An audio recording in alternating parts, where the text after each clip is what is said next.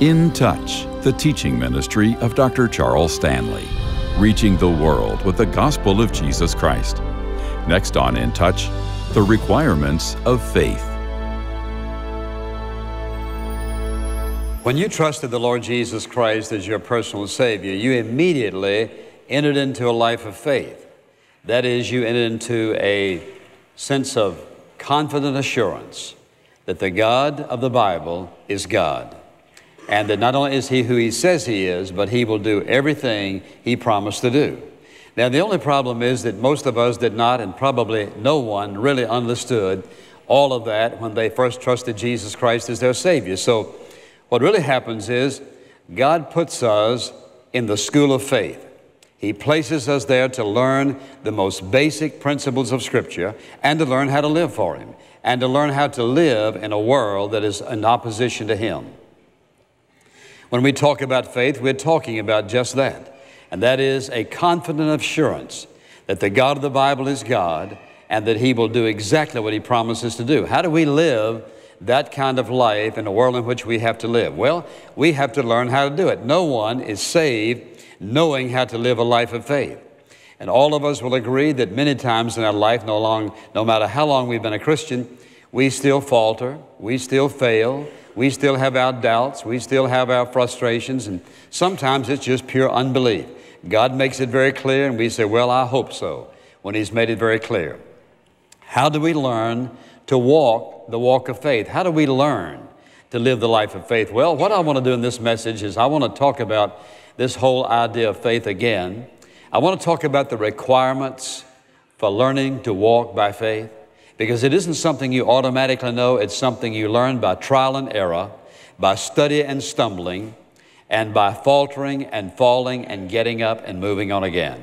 But I think there are some principles that you and I can learn that'll help us. And so I want you to turn, if you will, to Genesis chapter 12. One of the things that's so true in the life of Abraham is God's, listen, God's unsearchable and indescribable love. Even amidst his faults and his failures, God loved him. Even amidst his faults and failures and oftentimes his unbelief, God continued to work in his life and accomplish his purpose in his life. And I think one of the things we have to understand is we will fall, we will falter, we will have our weak moments, we will oftentimes have faith failures. That's what I call them faith failures. But you know what? God does not intend for us to stay there, but to learn to move on. So I want us to look at this 12th chapter and just read a few verses to give us an introduction, though chapters 12 through 25 discuss this man's life, as certainly a man of faith, but also a man who had his weaknesses. Chapter 12. Now the Lord said to Abram, Go forth from your country and from your relatives and from your father's house to the land which I will show you. And I will make you a great nation. And I will bless you and make your name great. And so you shall be a blessing, and I will bless those who bless you. And the one who curses you, I will curse. And in you, all the families of the earth shall be blessed. So Abraham went forth as the Lord had spoken to him, and Lot went with him. Now, Abraham was 75 years old when he departed from Haran. And Abraham took Sarah his wife, and Lot his nephew, and all their possessions which they had accumulated, and the persons which they had acquired in Haran, and they set out for the land of Canaan, and thus they came to the land of Canaan. Now, with that in mind, and we will continue a part of his life here, what I'd like to give you is I'd like to give you five requirements for learning to walk by faith. And you recall that Paul said that we are justified by faith. And again, he said we walk by faith. We are to walk by faith. The truth is, we don't even know what the next minute's going to hold, the next day, the next month, the next year, the next decade, the next century. So the truth is, to some degree, we are forced to walk by faith.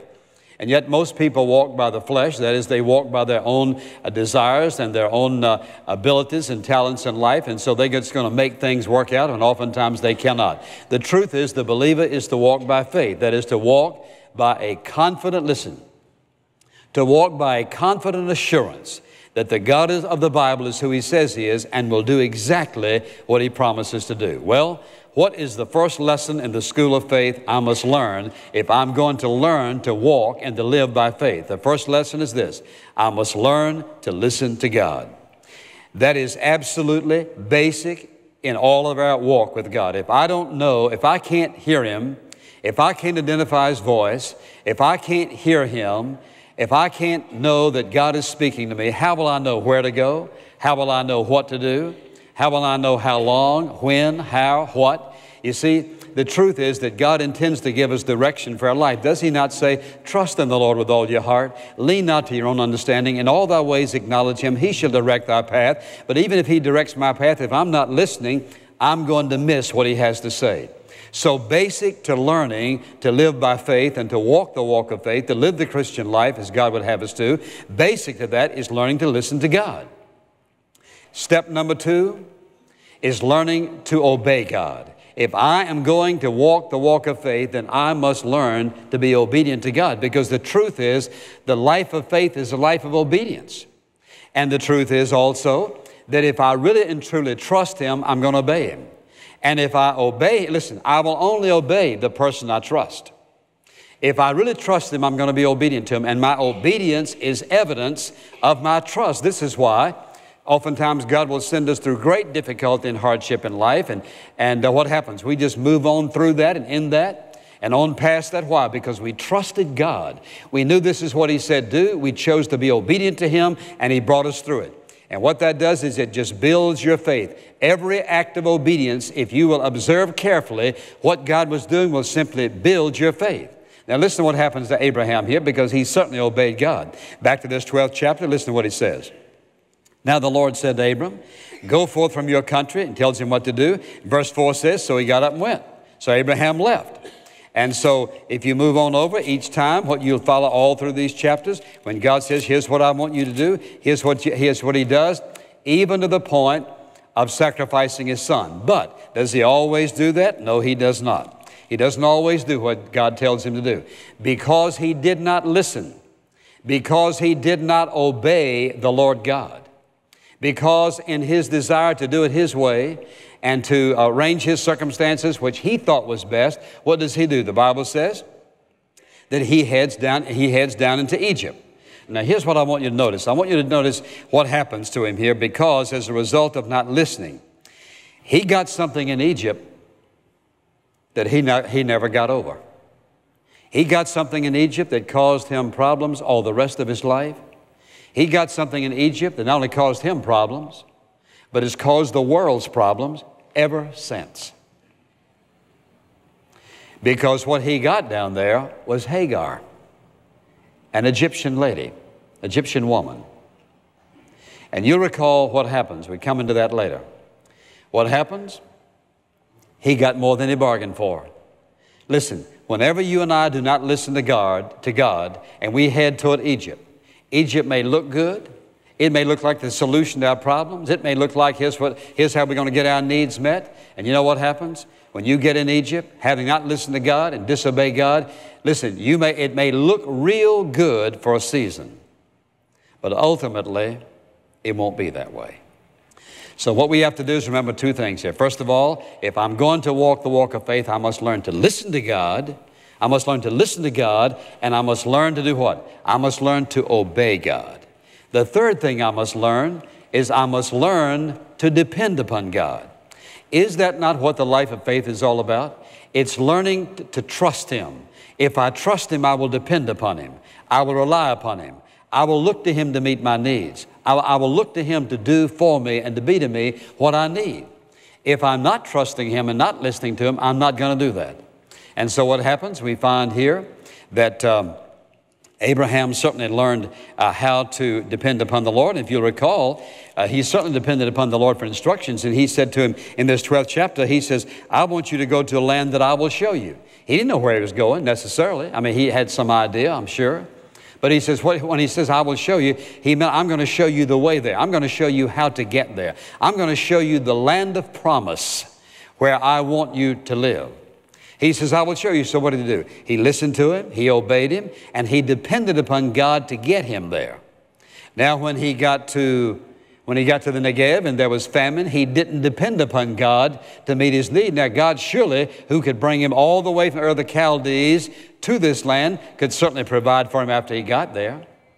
And when he headed toward Egypt, instead of trusting God to protect him, he want to put, puts his wife in a, in a terrible position uh, and uh, wants to sacrifice her if necessary in order for him to be protected, uh, well, can he depend upon God to protect him? What I want you to see is that Abraham, man of great faith, man whom we can look at and observe and learn many, many lessons out of these chapters.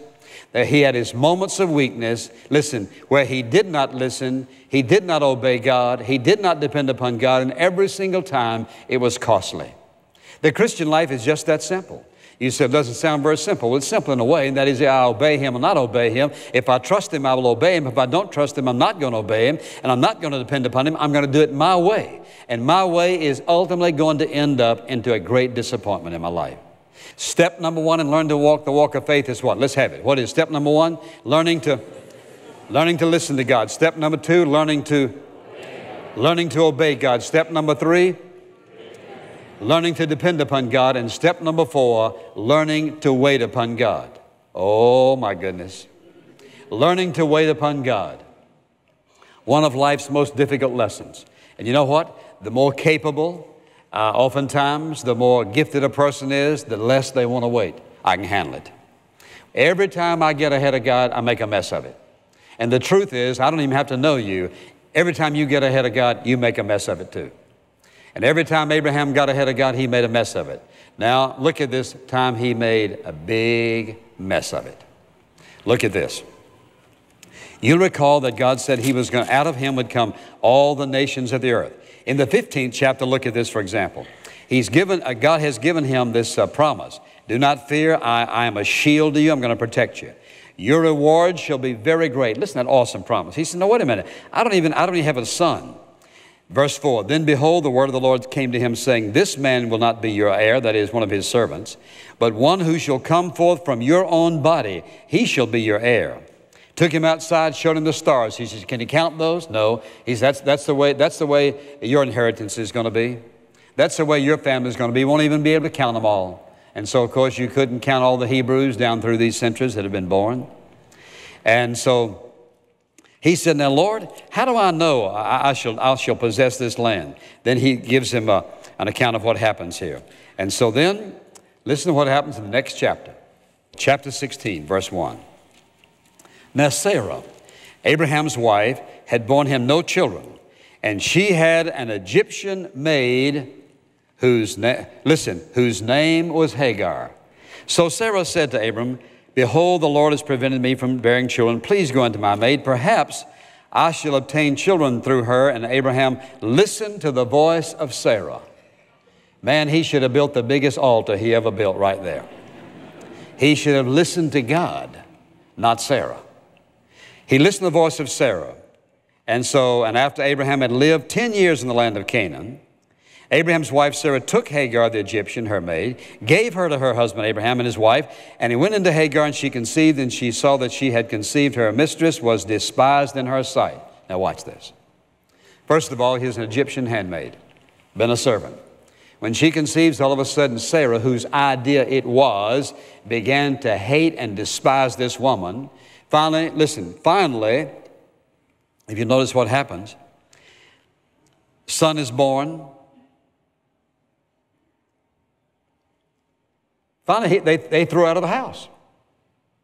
And God is the one who said to her, Return to your mistress and submit yourself to her authority. So, what happened? Here's Hagar, who was a gift down in Egypt. And now the strife in this family. Not only that, he stepped ahead of God. Had a son who would be trouble all the years of his life and trouble down through the centuries, even unto this very day. He got ahead of God. Now, when you and I choose to disobey God, no matter how good it looks, you can't make it right. You can't make, you can't make it right if it's not of God. You can't make it turn out right if it's not of God. That's why it's so very important that you and I learn to listen to God, learn to obey God, learn to depend upon God, and learn to wait for His timing. Remember that if God says wait, God in His infinite wisdom knows, listen, it's not only best for God, it's best for us. If God says wait, it's best for us. That is, listen, if He says wait, If I don't wait, I'll get what I can do. If I wait, I get what God can do. And listen, he said to he said to Abraham, he says, he says, you're going to have a great reward. But you got to listen to me, obey me, depend upon me, and wait for my timing. Now, so if I'm going to learn to walk the walk of faith, I must learn to acknowledge my faith failures to God and learn from them. Listen to what happened. Go to the 22nd chapter of Genesis. 22nd chapter. Look at this. Now it came about after these things. Isaac's been born and son of his faith. This is a son of promise to whom the Messiah is coming. He says, After these things, that God tested Abraham and said to him, Abraham, he said, Here I am. You know what? Wouldn't you just love, you just love to hear God say, Jane, Charles, Jim, Jack, whatever? Here I am. Listening to God. I mean, this man had learned to listen. Now this fiddling around. Yes, here I am. Boy, if he'd just known what he was listening to, look at this. Take now your son, your only son, whom you love, Isaac. Go to the land of Moriah and offer him there as a burnt offering on one of the mountains of which I tell you. I'm sure when he woke up that morning, he never expected that in his wildest dreams. Had he learned to listen to God? Yes, here I am. Had he learned to obey God? Look at the next verse. So Abraham rose early in the morning, saddled his donkey. Look at verse 2 again. And he said, Take now your son. Not one of these days. Now. Did he learn to listen? Yes. Learn to obey? Yes. Learn to depend upon God? Yes. Learn to wait upon Him? Yes. Now, that means now. Next morning early gets up. Took two of his young men with him, Isaac his son, split the wood for the burnt offering, arose and went to the place of which God had told him. On the third day, Abraham raised his eyes and saw the place from a distance. And Abraham said to his young men, Stay here. Now, watch this carefully. Stay here with the donkey, and I and the lad will go yonder, and we will worship and return to you. Now I know that Abraham is about to graduate in the school of faith because this is the acid test of his love and devotion to God. This son whom he looked for all these years, 100 years old when he was born, the son of promise. And now he says to him, I want you to take him to Mount Moriah and I want you to sacrifice him to me. So they left. Abraham took the wood of the burnt offering, laid it on Isaac his son, took in his hand the fire and the knife, so the two of them walked along together. Now, can you imagine this conversation? Look at this. Isaac spoke to Abraham his father and said, My father, yes? Well, we've got wood and we've got fire. Where's the lamb for the burnt offering?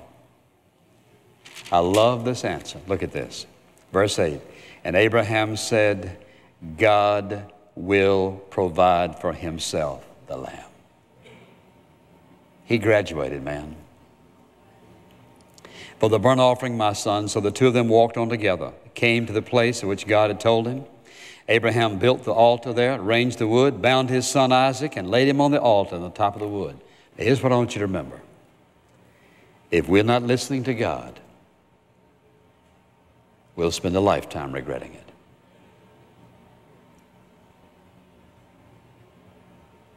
Abraham, Abraham, here I am. And God said to him, Don't stretch your hand against your son, your lad. Do nothing to him, for now I know that you fear God, since you've not withheld your son, your only son, from me. Then Abraham raised his eyes and looked, and behold, behind him a ram caught in the thicket by, by, by his horns. And Abraham went and took the ram and offered him up for a burnt offering in the place of his son. And Abraham called the name of that place, The Lord will provide, as it is said to this day, In the mount of the Lord it will be provided. He said, Now, by myself I have sworn, declares the Lord, because you've done this thing and have not withheld your son, your only son. Indeed, I will greatly multiply you, bless you. Your seed is the stars of the heavens, and as the sand which is on the seashore, and your seed shall possess the gate of their enemies. And in your seed, all the nations of the earth shall be blessed because you have obeyed my voice. Suppose he had not listened at that moment. And what that says to me is how very important it is that in the walk of faith, you and I stay out of Egypt. And that we are very, very sensitive to the voice of God. That when He speaks, we're just as, listen, we learn just as well as Abraham to say, Here I am, Lord. Listening, willing to be obedient, willing to depend, willing to wait, willing to confess my failures, my faults, and my faith failures, and my faults, and my times of disobedience. Willing to repent of those in order to learn how to walk this walk of faith.